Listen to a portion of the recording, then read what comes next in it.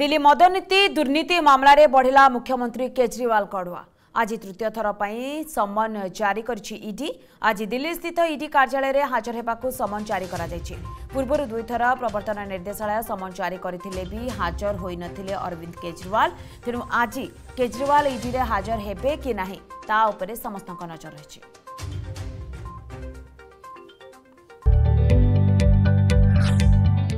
जदि आपण को आम भिडी भल लगा तेब आम चेल्क लाइक सेयार और सब्सक्राइब करने को जमा भी भूलु ना